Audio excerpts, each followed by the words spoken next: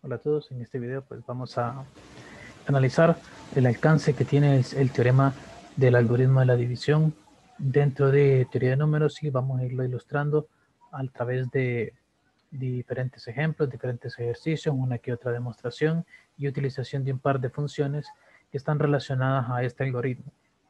El algoritmo como tal está basado en el siguiente teorema que nos dice que dados cualquiera enteros n, y d que además de ser entero es mayor que cero, entonces existen únicos, y eso vale la pena aclararlo, que son únicos, enteros q y r, tales que n se puede escribir como q por d más un número r. Entonces, este número r cumple la propiedad de que es un número que está entre 0 y d, pero es posible que sea igual a 0. Esto este algoritmo eh, de la división, o mejor dicho, este teorema, que se llama algoritmo de la división, debe su nombre a que en realidad este Q de aquí viene a ser lo que nosotros conocemos usualmente como cociente. Y este R viene a ser lo que conocemos como residuo. Entonces, si dividimos un número entero entre un número positivo, vamos a tener un cociente y un residuo. Y el residuo cumple la propiedad de que es un número menor que el dividendo, que es en este caso el número D eh, perdón, perdón, dicho, el divisor, que es en este caso el número D. Entonces, para ilustrarlos, si nosotros tomamos n igual a 54, d igual a 4, entonces tenemos que 54 lo podemos escribir como 4 por 13 más 2, donde en este caso 13 sería el cociente y 2 el residuo. Ahora, si n fuese igual a negativo 54 y d fuese igual a 4 siempre, entonces se modifica un poco. Claramente, este de aquí va a quedar un número negativo, el cociente va a quedar un número negativo, puesto que estamos dividiendo un número positivo entre un número, perdón, un número negativo entre un número positivo. Ahora la cuestión está, no, no sería solamente de multiplicar por menos la anterior, porque si multiplico por menos, tendría que poner menos acá, menos aquí, y este quedaría un menos 2. Pero ahí hay un conflicto, porque el residuo no puede ser negativo, tiene que estar entre 0 y el divisor, en este caso es 4. Entonces lo que se hace es, bueno, entonces yo digo que menos 54 es igual a 4 por menos 14, que eso es negativo 56, y si le sumo 2, eso me da negativo 54. Esto es en esencia como nosotros lo plantearíamos en caso de que el dividendo fuese negativo. Y pues la otra posibilidad en la que el divisor es más grande que nuestro número n en este caso del ejemplo 3, donde n sigue siendo 54, pero ahora d es 70, vemos que entonces el cociente es 0, no hay problema con que sea 0, y nuestro residuo es 54. Y cumple esta propiedad, que es mayor o igual que 0 y menor que d, que en este caso es 70. Ahora, este cociente y este residuo se pueden obtener frecuentemente, no solamente en matemáticas, sino también en diversos lenguajes de programación mediante las funciones div y mod. Por ejemplo, eh, bueno, esto normalmente como está implementado en, algunos lenguajes, pero como el más usual es C++, esta operación de aquí se puede escribir como simplemente n entre d, tal como nosotros lo conocemos, un cociente de enteros. Y este de aquí es, se conoce como n porcentaje d. Y esto no es, tiene que ver con el porcentaje, es simplemente la notación utilizada para representar el módulo. Entonces, este, si nosotros tenemos un entero n y un entero positivo d, entonces sabemos que existen q y r eh, en números enteros, tales que n es igual a q por d más r, con 0 menor que r menor que d. Eso no es nada más que el algoritmo de la división que antes dijimos. Entonces, vamos a definir la función n div d como el cociente de dividir n entre d. Y n mod d va a ser el residuo de dividir n entre d. Entonces, pues, eh, básicamente lo que estamos diciendo aquí es que n se puede escribir como n div d por d más n mod r. Eso en esencia es lo que estamos queriendo decir aquí. Ahora, vamos a ilustrar todo esto del algoritmo de la división y de módulos mediante unos cuantos ejemplos. Primero, hoy eh, es el día de grabación de este video es miércoles. Hoy es miércoles. Y la pregunta es, ¿qué día de la semana será exactamente dentro de un año? O sea, hoy es, en este caso es 3 de marzo de 2021, entonces, ¿qué día de la semana va a caer 3 de marzo de 2022? Entonces, como 2022 no es un año bisiesto, entonces todo este año va a tener 365 eh, días. Así que en esencia lo que hay que saber es cuántos días tengo que correr hacia adelante o hacia atrás en la semana. Entonces, o mejor dicho, simplemente ocupo ver cuántos días hacia adelante tengo que moverme a partir del miércoles. Entonces, en sí no me interesan realmente cuántas semanas pasaron, sino al final, cuando ya recorrieron todas las semanas, cuántos días sobraron. Esto lo que nos está queriendo decir es que, pues, lo que nos interesa realmente es el residuo de dividir 365 de los días que tiene el año entre 7. Eso es lo que, nosotros, a que nosotros nos interesa. El residuo de dividir 365 entre 7. Porque lo que vamos a lograr es que 365 lo vamos a escribir como un cociente por 7 más un residuo. Entonces, eh, todos estos múltiplos de 7 de aquí corresponden a semanas enteras que han transcurrido. Y al final nos van a sobrar algunos y los que nos sobren eh, van, a, ser los días que tenemos que avanzar en, en, la semana. Porque en sí, luego de una semana volvemos a quedar en miércoles, luego de dos semanas volvemos a quedar en miércoles y así. Entonces, el caso es, esta operación, el recibo de dividir 365 entre 7, resulta que nos queda 1. Entonces, bueno, ¿esto qué significa? Eh, significa que el próximo año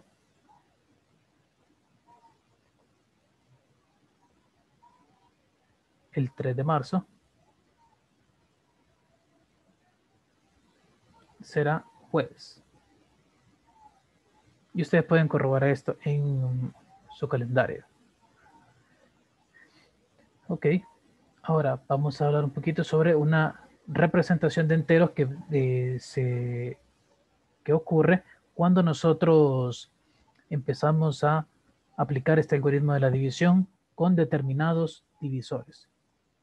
Entonces, primero si agarramos el algoritmo de la división y hacemos d igual a 2, entonces para cualquier entero eh, n eh, van a existir QR únicos, tales que n lo puedo escribir como 2 por q más r donde se va a cumplir la propiedad de que 0 va a ser menor o igual que r y menor que 2. Entonces, bueno, si r está entre 0 y 2, pero no es igual a 2, resulta que solo tengo dos casos. O r es igual a 0 o r es igual a 1.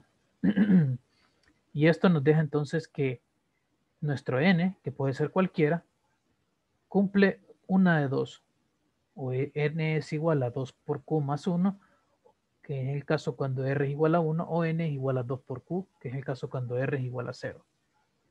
En este caso de aquí, o mejor dicho, de esta manera lo que nosotros concluimos es que todo entero se puede representar mediante alguna de estas dos formas.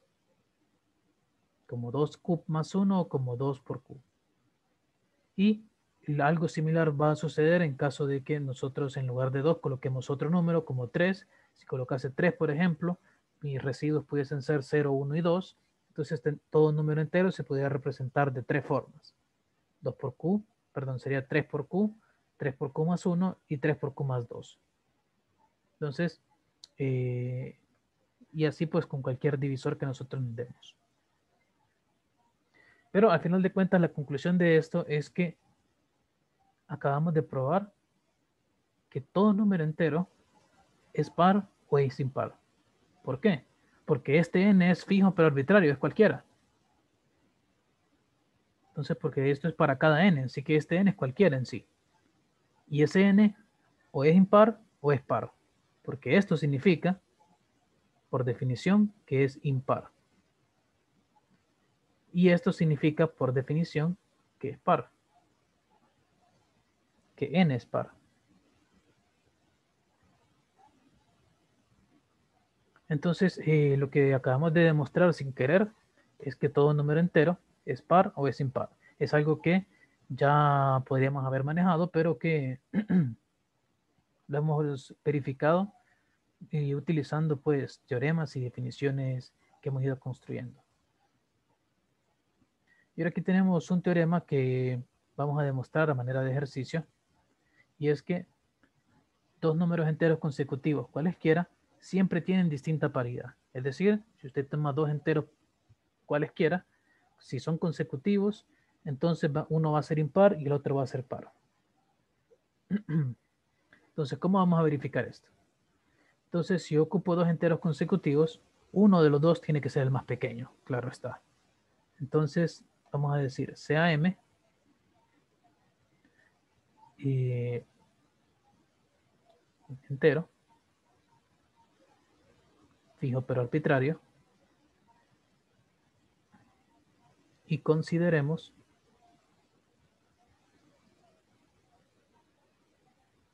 la pareja de enteros consecutivos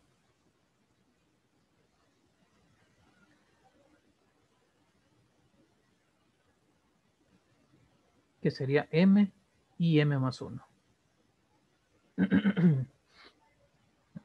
ok, entonces eh, ven que aquí básicamente tenemos dos posibilidades y es que mm, o resulta que m es un número par o resulta que m es un número impar. Así que básicamente aquí estamos dividiendo nuestra demostración en casos. El caso 1, en el que m es par. Lo que nos restaría probar es que m, tiene, m más 1 tendría que ser impar. Entonces, como m es par, entonces existe r entero tal que m es igual a 2 por r. Así, m más 1, ¿quién sería entonces? Pues 2 por r más 1. Entonces m más 1 es impar. Porque es de la forma 2r más 1 donde r es un entero. Y ya está. En este caso 1 ya está descartado. Ahora el caso 2 es cuando m es impar. Y procedemos de manera muy similar. Como m es impar,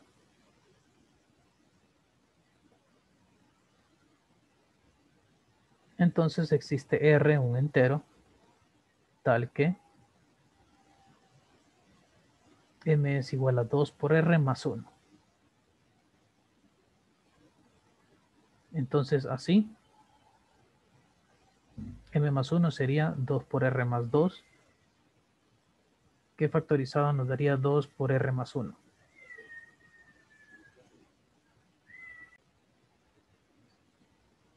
Esto nos deja entonces que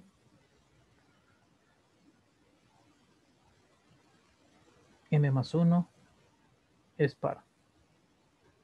Y aquí ya terminamos.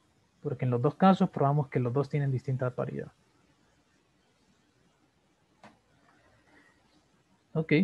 Entonces, eh, bueno, ahora hemos utilizado ya un par de veces este procedimiento de dividir en casos una demostración, pero vamos a formalizarlo un poco ahora.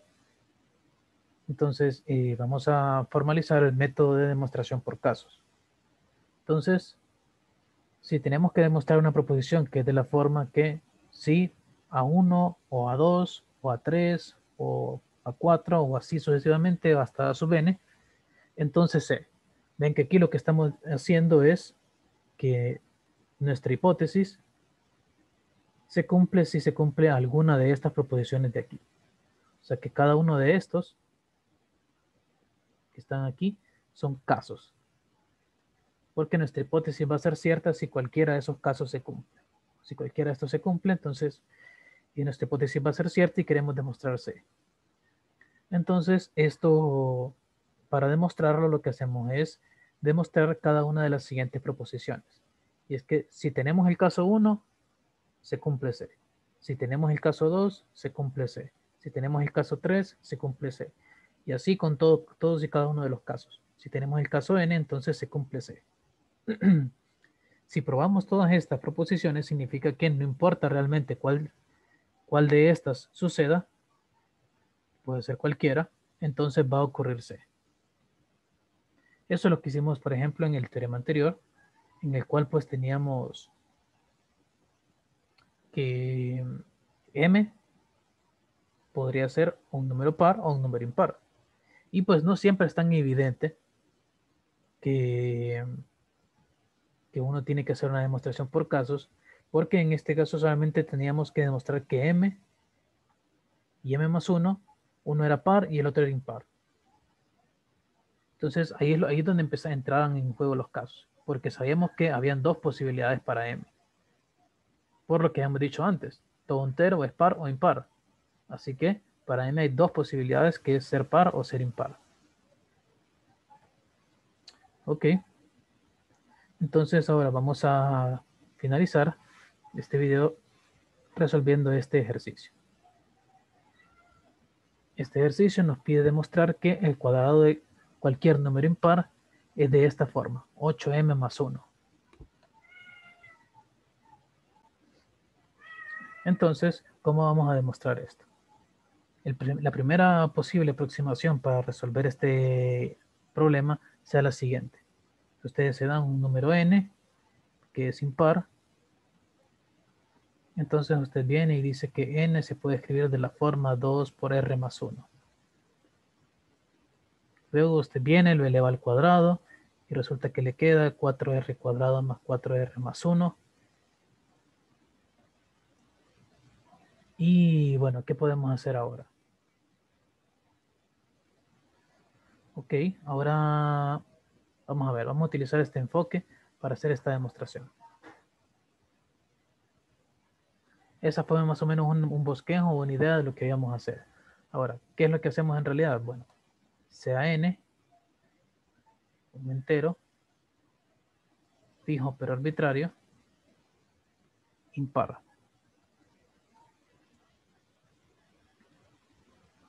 Entonces,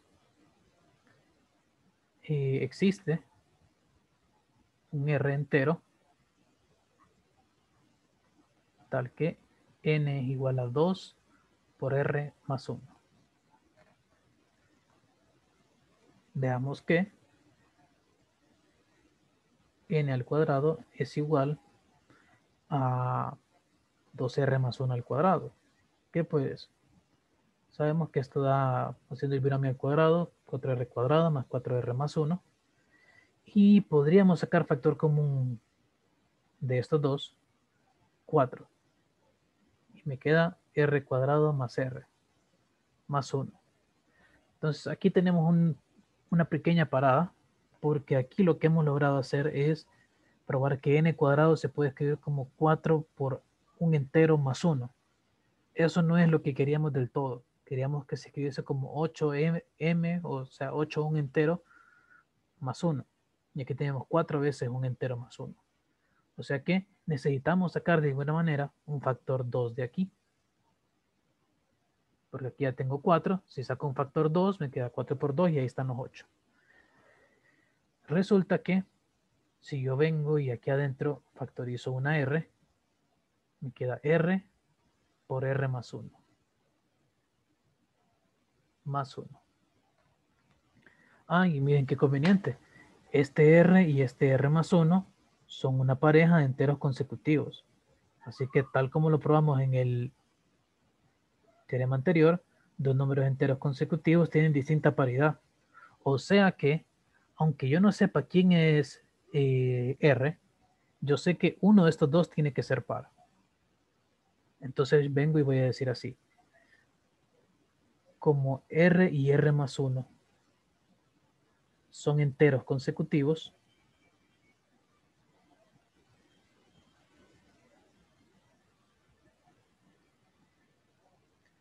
entonces uno de ellos es para.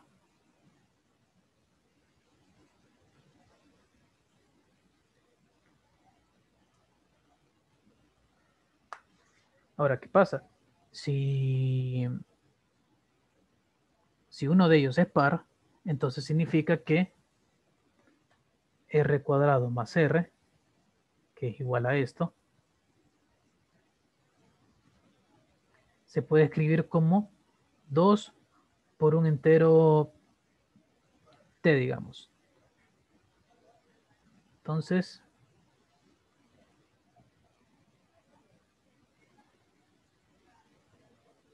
existe un entero t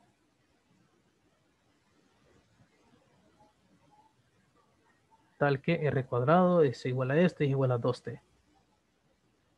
¿Por qué? Bueno, ¿qué, ¿qué pasa si yo multiplico un número par con un impar?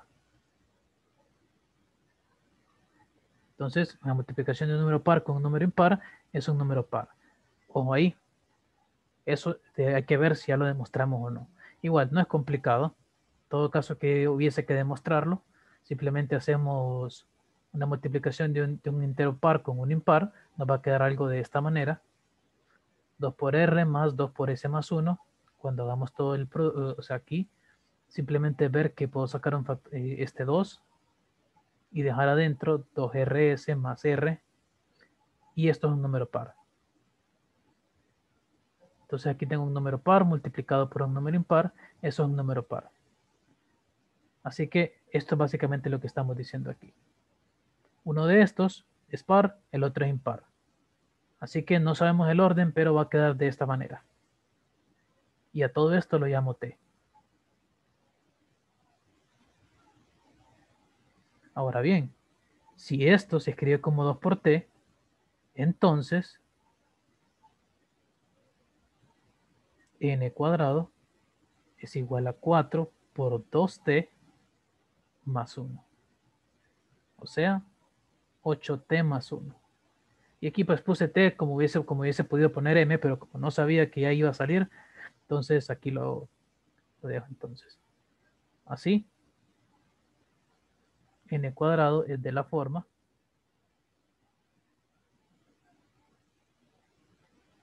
n 8m más 1.